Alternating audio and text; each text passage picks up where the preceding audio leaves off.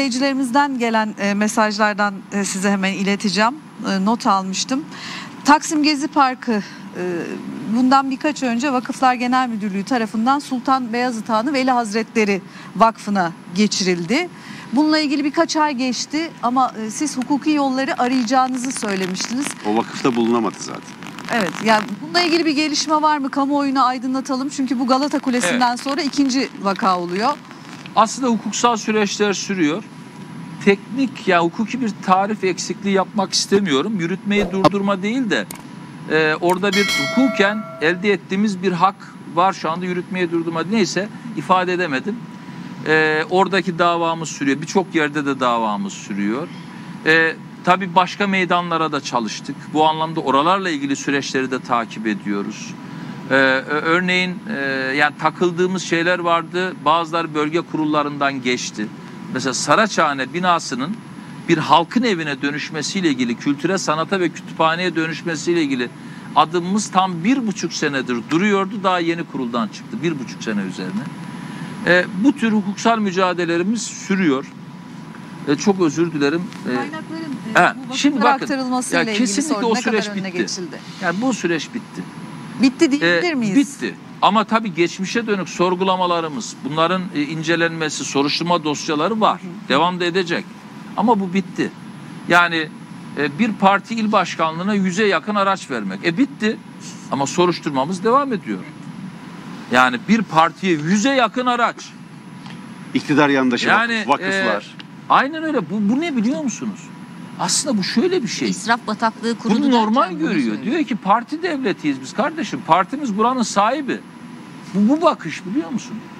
Ben e, yani e, bu konulara biz o kadar hassas bakıyoruz ki bu orada unutulmuş. O bakımdan bu bitti. Bakın İstanbul Büyükşehir Belediyesi'nin tek bir yatağı yoktu, yurt yatağı. Ya bir gence verecek yurdu yok. Düşünebiliyor musunuz? İnşallah biz bu sezona bine yakın kapasiteyle gireceğiz ve bunu büyüteceğiz. Yani çok kaynağı heba oldu İstanbul.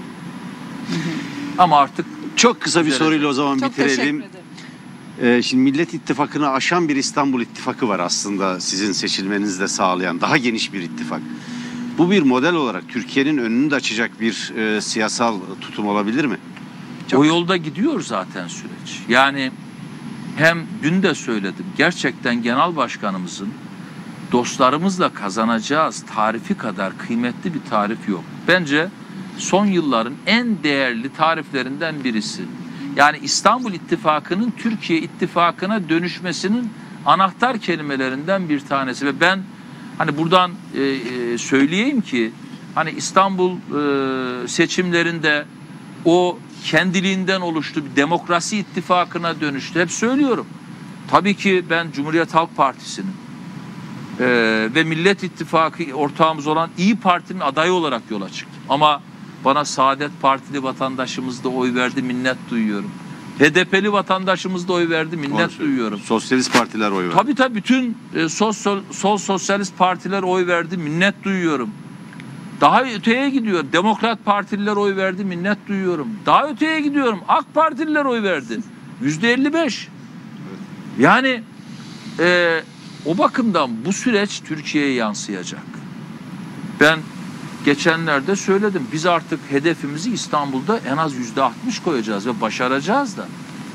Yani ben bu söylediklerimin birçoğunu insanlar espri algılayabilir. Tabii ki ben e, espri yapıyorum. Yani espri yaptıkça birilerinin ruh sağlığının da bozulduğunun farkındayım. Bozulsun.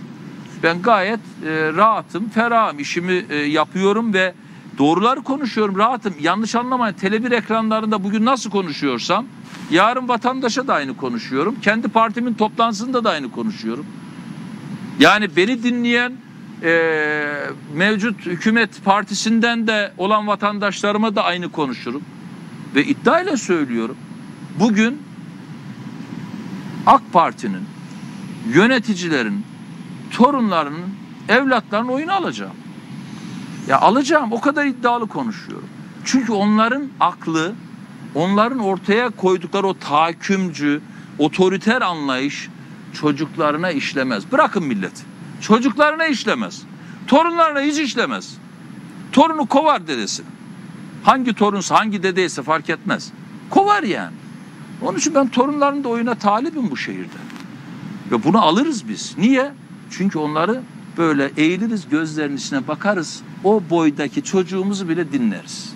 Ondan alırız ve bu şehrin lehine ise uygularız. Demokrasi kazanacak.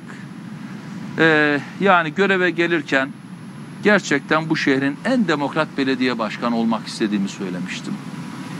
Ee, ve bunu e, başarmak için çok inançlıyım. Çünkü halkımıza, milletimize, çocuklarımıza, gençlerimize, kadınlara, erkeklere çok güveniyorum. Yeter ki onlara fırsat verelim. Vicdanlıdır bizim toplumumuz. Yani oy